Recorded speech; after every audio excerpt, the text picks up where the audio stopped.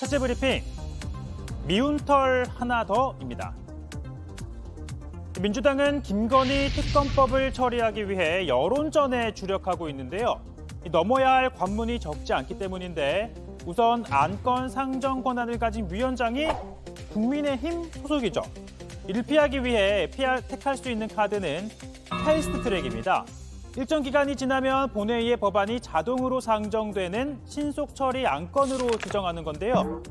그러기 위해선 법사위원 5분의 3, 즉 18명 가운데 11명 이상 찬성이 필요한데 지금 민주당 법사위원은 10명이라 딱 한 명이 모자랍니다. 따라서 민주당 입장에선 이분의 입장이 중요해졌죠. 민주당하고 국민의힘 중간에 서 있는 사람이 저 하나인 것 같습니다. 아 그래요? 예, 딱 제가 그 한석입니다. 고민이 시작됐습니다. 아 그래요? 캐스팅 못해? 그렇습니다. 패스트트랙. 이렇게 민주당 이재명 대표도 취임 직후 찾아가 인사를 할 만큼 소수 정당에 대한 호의를 표했죠.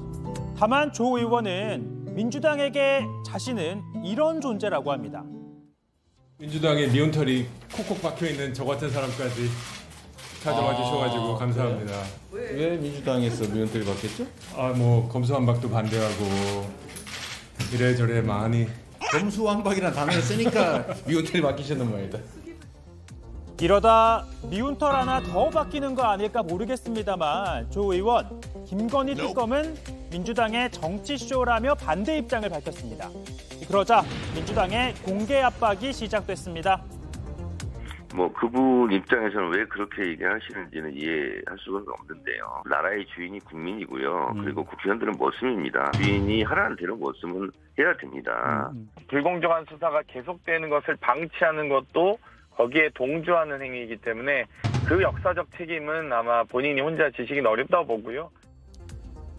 국회의원은 한 명한 명이 독립된 헌법기관이죠. 헌법상 양심의 자유를 지키면 되고 그에 따른 책임은 스스로 지면 된다는 게 민주당의 미운 털 바뀌었단 조 의원의 입장으로 보이네요.